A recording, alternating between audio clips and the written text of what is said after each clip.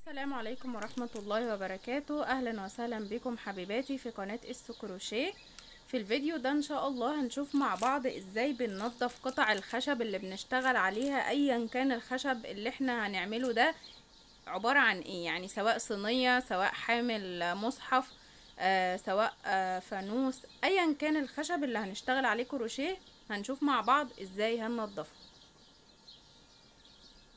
طبعا أول طريقة للتنظيف هي مناديل ال wipes أو المناديل المبللة بس ما يكونش فيها مواد كيماوية. طيب مش موجودة يبقى ال Pledge بتاع الموبيليا اللي بنمسح بيه الخشب. مش موجود هنعمل بأبسط طريقة وأسهل حاجة اللي متوفرة عند كل الناس.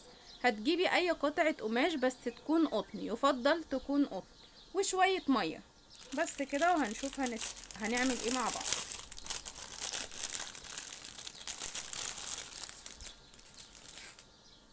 طبعا أنتوا شايفين المنظر بتاع الخشب عامل إزاي. اللي هنعمله على قطعة هيتعمل على باقي القطع. باجي اخد شوية مية صغيرة خالص كده. طبعا انشف ده عشان ابص الخشب. كده اهو. شوية مية صغيرة يعني بقت مبلولة بسيط. وباجي أمسك القطعة بتاعتي بالراحة خالص وأمشي عليها كده. بالراحة ما يعني ما أعملش كده جامد لأ. بالراحة خالص.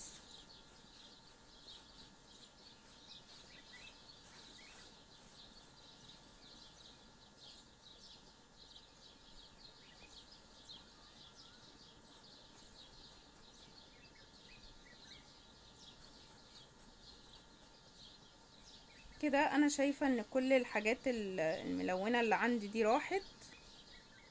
اقلبها بصوا بقى القماشة بقت عاملة إزاي؟ برضو ده نفس الطريقة كده.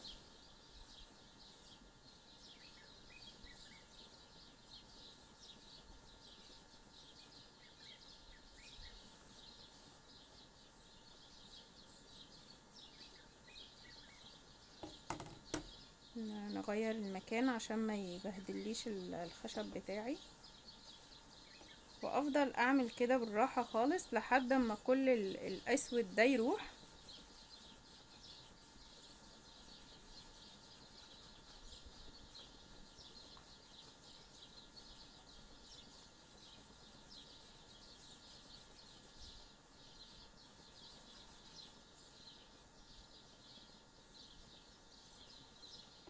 ولما الاقيها اتوسخت قوي كده اغير المكان وابل حتة تانية جديدة. بليت جزء جديد.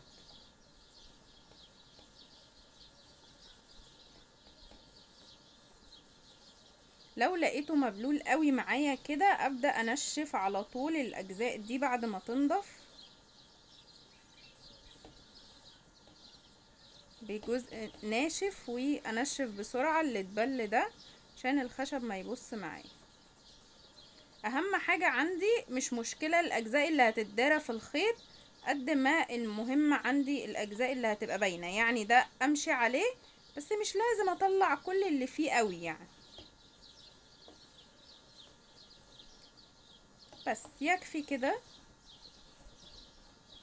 وأنشفها. بس كده بتكون معايا نظيفة ومش بتأذي الخيط حتى لو الخيط فاتح. طبعا انت لو هتشتغلي بخيط فاتح بتلفي ده على بنسة أو حاجة رفيعة أو لو عندك قطنة ودان وبتدخليها في الفراغات دي برضو بتنضفيها عشان ما توسخلكيش الخيط. أهو زي ما إحنا شايفين كده بنعمل كل القطع بالشكل ده وبنلاقي القماشة معانا بقى يعني طالعة سودة وفيها حاجات صعبة كده.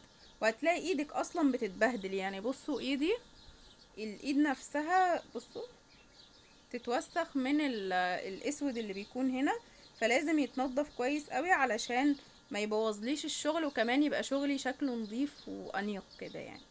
آه يا رب يكون استفدتوا من الفيديو ويكون عجبكم. لو عجبكم الفيديو اعملوا like ولو ما عجبكوش اعملوا dislike ولو في أي سؤال اكتبوه في التعليقات. وما تنسوش تتابعوا علشان تشوفوا ده إيه وهنشتغله إزاي. أشوفكم في فيديو جديد وإبداع جديد. دمتم في أمان الله والسلام عليكم ورحمة الله وبركاته.